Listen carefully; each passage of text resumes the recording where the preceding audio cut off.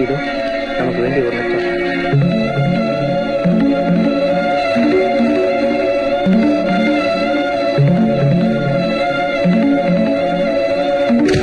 இந்த பணத்தை எங்க இருந்து கொண்டு வந்த? அது அது அயோக்கிய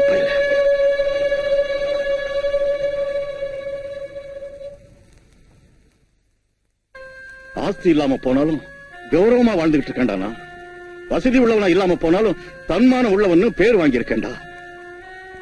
எனக்கு மகனா பிறந்து கொள்ளை இடிக்கிறதுக்கும் இந்த வீட்டு மானத்தை குழி தோண்டி புதைக்கிறதுக்கும் உனக்கு எப்படா மனசு வந்துச்சு? ஏன்டா என்னைய பாத்துக்கிட்டு இருக்க? இந்த கொள்ளை அடிச்ச பணத்தை என் கண்டு முன்னால இருந்து எடு உன்னால உபகாரம் பண்ண முடியலனாலும் உபத்திரம் பண்ணாத. போட அங்கிருந்து.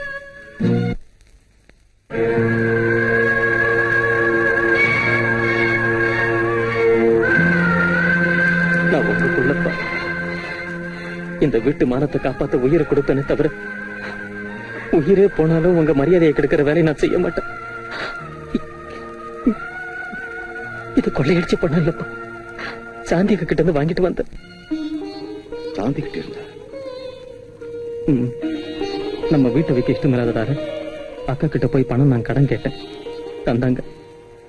நமக்கு வசதி வர்றப்ப மெதுவா கடன் அடைக்கலாம்னாங்க என்ன? இந்த விஷயத்தை என்கிட்ட முன்னாடியே ஏன் சொல்லலடா?